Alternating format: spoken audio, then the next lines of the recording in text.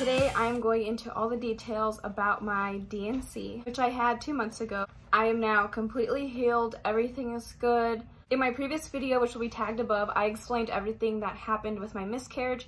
If you haven't already seen that, go ahead and check it out. I go into all the details about my miscarriage. I chose to have a D&C. This video does include some TMI details. Just a heads up, we're talking about miscarriage, D&C, that kind of stuff. It's hard to avoid talking about things that might be TMI to other people. So I'm making this video for anyone who is thinking about having a D&C or even if you're just wondering what that is. I'm just gonna talk about the procedure itself. I had my D&C a week after my miscarriage was confirmed. However, because my OBGYN is not a technical ultrasound clinic, I had to go to an outside clinic to get ultrasounds to confirm that my baby actually did stop growing and that there was no heartbeat. I actually avoided this appointment and learned later that I absolutely had to have this appointment or else they would not complete the procedure. I just didn't want to have to like go through that a third time when I already knew what was going on. So the lady called me into the back of the room. She shuts the door. She was like, oh my God, congratulations. Do you know what you're having? And I was just thinking like, oh my god. This is literally why i did not want to come here. And so i had to tell her like i was just like oh like thank you. But my baby stopped growing. There's no heartbeat. That that's literally why i'm here.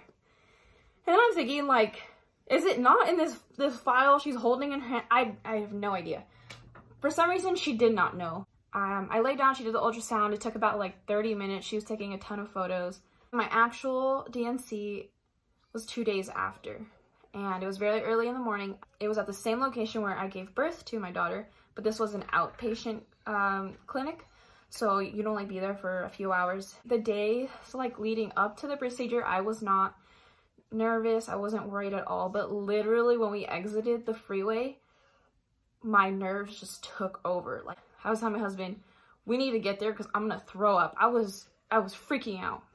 He's trying to calm me down. I'm trying to keep myself calm. But it was just kind of all hitting me at the same time.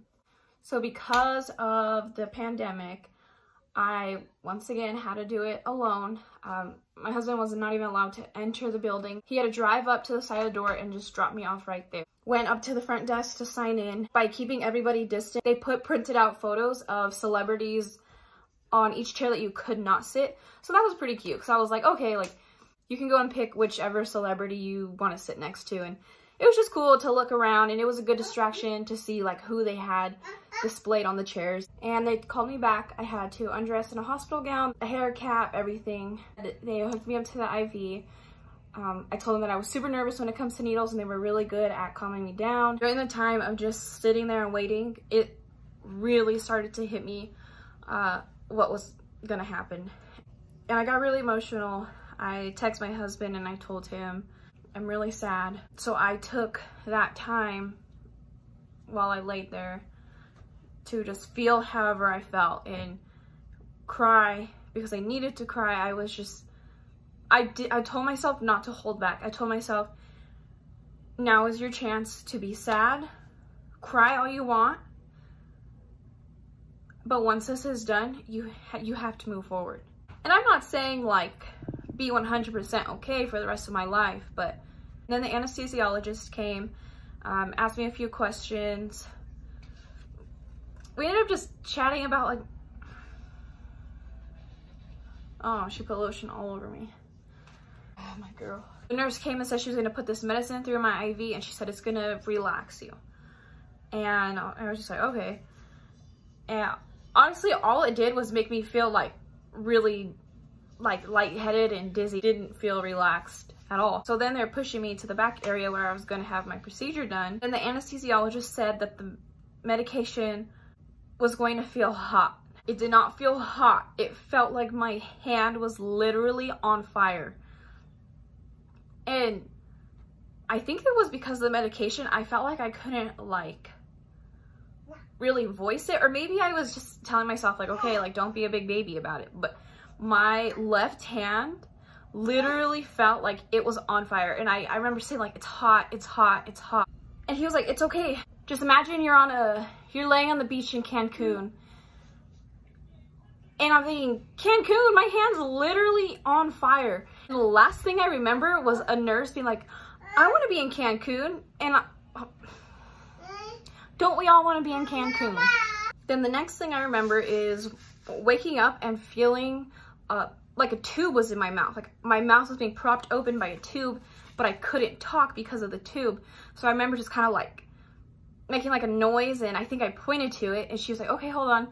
And it took it out. It was like literally in the back of my mouth. And then I fell back to sleep. You're still kind of like in a daze from the medication. I remember a nurse coming back and she, she had me kind of roll over my side and she checked like the pad that I was laying on and realized that I was bleeding a lot more than I should have been and she, she, told me that I was. She said she was gonna call my doctor and I heard her on the phone. They gave me a shot of Pitocin in my thigh to slow down the bleeding. And because I was bleeding heavier than I should have been, I had to stay there an extra hour. So altogether, I think my procedure lasted about four to five hours. When I got home, the entire house was clean. He used that time to uh, clean up for me and I was like beyond thankful for that. That was super kind of him.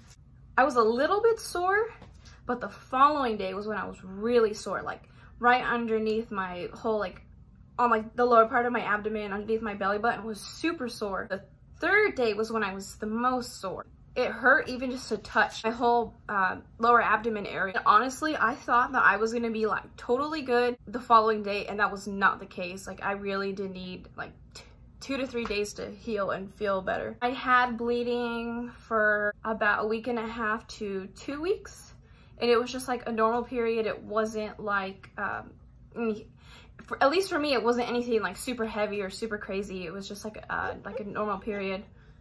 I am glad that I decided to have a D&C and not wait or not take the pill. If you guys have any questions about my procedure, D&C in general, miscarriage in general, go ahead and put in the comments down below. I think that people need to talk about this kind of stuff. It, it is important. If you're not already subscribed, go ahead and hit that subscribe button. You guys have been extremely supportive and I can't tell you how thankful I am for that. Thank you guys for watching this video. I hope that you learned something from it. My biggest goal is to make everybody feel comfortable about these topics and for other women to know that they are not alone and it's okay to be scared. It's okay to be sad. There's people like me who are, who are here for you.